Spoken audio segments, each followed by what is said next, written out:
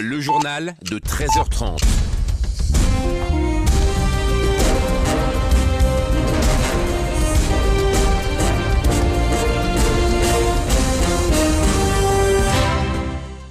Au sommaire de cette édition, 1446 personnes trouvent la mort chaque année en Tunisie, un chiffre alarmant. Le manque des actions de prévention est à l'origine de la multiplication des accidents de la route.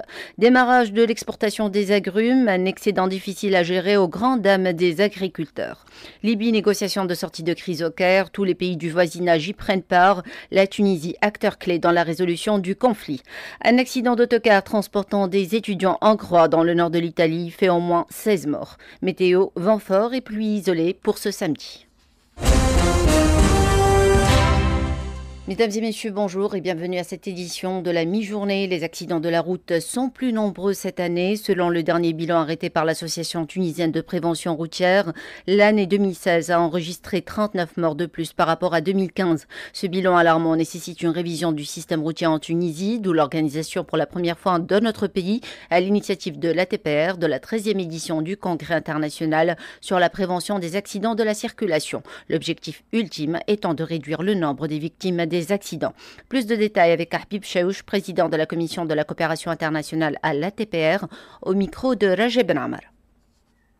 On a enregistré 39 morts de plus en 2015. En 2015, on avait 1407, maintenant on a 1446. Le bilan pourrait s'alourdir d'ici le début février. Le bilan, il est vraiment dramatique. Et le coût financier des accidents de la route, il est vraiment effrayant. D'après la FTUSA, la Fédération des assurances, ça coûte en Tunisie par année 800 milliards de nos. Et c'est pour ça qu'on va organiser ce congrès international de la prévention routière les 3, 4, 5, 6, 7 mai à Tunis dont le thème principal sera la gouvernance des routes et son impact sur la sécurité routière. Ça s'articule autour de cinq piliers. L'administration des routes, deuxièmement l'infrastructure routière, troisièmement la sécurité des usagers de la route. Et là, c'est très important parce que ça se concentre sur le comportement routier des usagers de la route. Quatre, ce qu'on appelle le transport intelligent du transport. Et cinq, ce qui est aussi très important, c'est le suivi des accidentés de la route. Le secteur des agrumes tunisiens a enregistré pour cette saison une production record estimée à 560 000 tonnes contre 380 000 tonnes au cours de la saison écoulée, soit une hausse de 47% La bataille vers l'exportation s'annonce difficile face à la concurrence rude de la Turquie, de l'Égypte et du Maroc. L'excédent semble difficile donc à gérer, cependant une convention tripartite de groupement s'est chargée du financement des fruits qui seront transformés.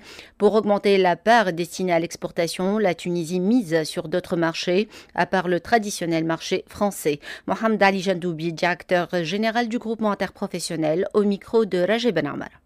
Il s'agit d'une convention télépartite, le groupement qui va financer les fruits qui seront transformés et ensuite la STB qui finance l'industriel qui sera assisté par le ministère de l'Industrie et aussi par les clients qui ont acheté ça, les clients italiens et algériens. La transformation va toucher au début 5000 tonnes pour dégager les calibres non commercialisables pour qu'il n'y ait pas de blocage au niveau des stations. Et si jamais il faudrait donc euh, aller un peu plus, on va continuer. Et il y a un appel pour l'exportation, surtout euh, qu'il y a de groupes producteurs de jus comme le Brésil ou bien la Floride qui ont un problème de production cette année.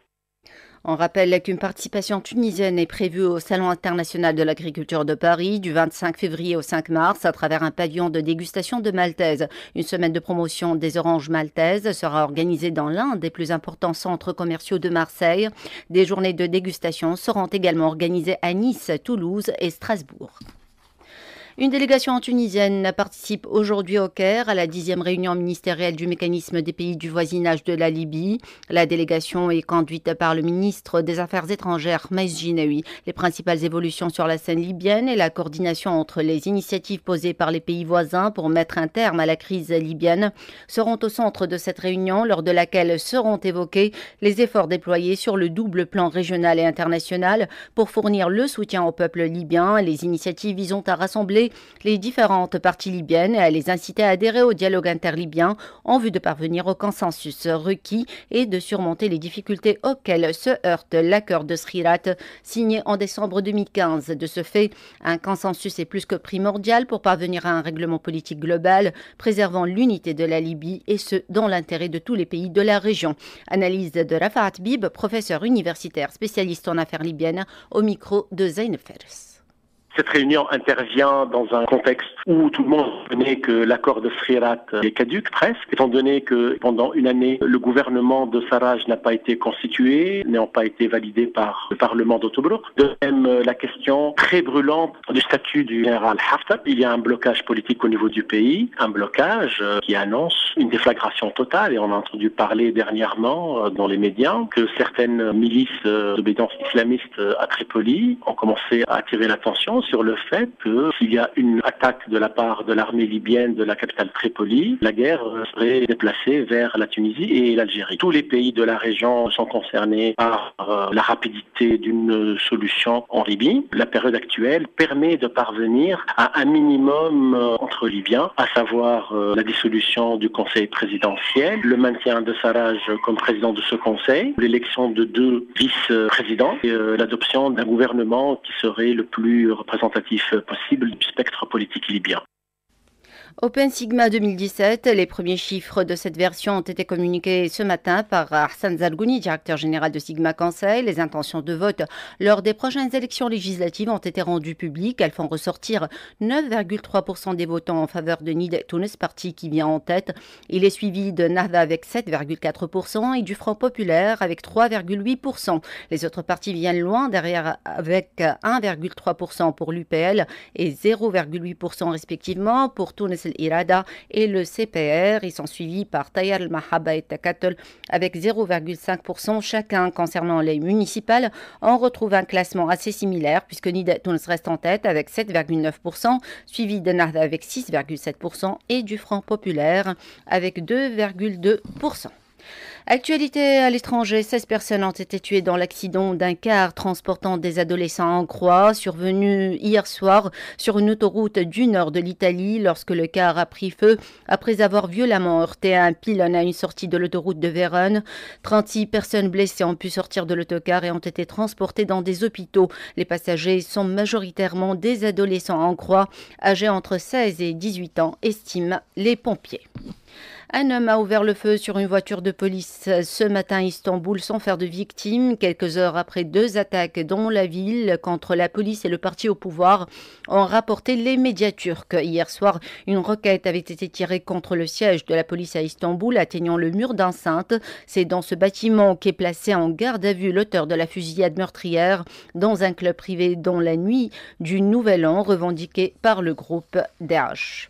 Turquie toujours, un projet de révision constitutionnelle a été adopté aujourd'hui par le Parlement turc, ouvrant la voie à un référendum au printemps. Il vise à renforcer les pouvoirs du président Recep Tayyip Erdogan qui pourra rester au pouvoir jusqu'en 2029. La réforme renforce largement les pouvoirs du chef de l'État en lui permettant de gouverner par décret, de déclarer l'état d'urgence, de nommer les ministres et les hauts fonctionnaires et de dissoudre le Parlement.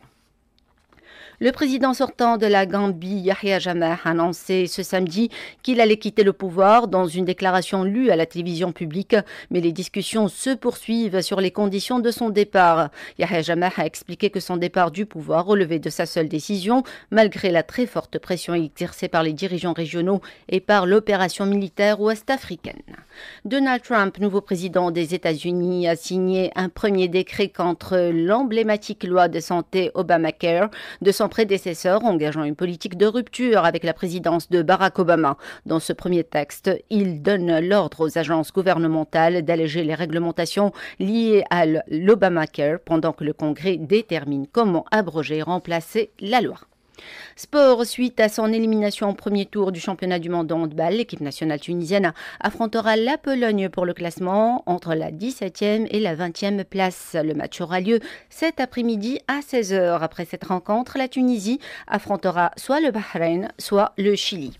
Prévision météo avant de clore, l'Institut national de la météorologie annonce pour ce samedi des passages nuageux sur la plupart des régions qui seront parfois abondants sur le nord et les régions du Sahel, avec pluie isolée et localement orageuse. Les températures maximales seront comprises entre 13 et 18 degrés et voisines de 10 degrés sur les hauteurs. Voilà, c'est la fin de cette édition. Voici un rappel du sommaire. 1446 personnes trouvent la mort chaque année en Tunisie. Un chiffre alarmant, le manque des actions de prévention est à l'origine de la multiplication des accidents de la route. Libye, négociation de sortie de crise au Caire, tous les pays du voisinage y prennent part, la Tunisie, acteur clé dans la résolution du conflit. Point final à cette édition. Merci d'avoir été des nôtres. Merci à Jeannette Ouahalani pour sa précieuse collaboration technique. Excellent après-midi à l'écoute de RTC.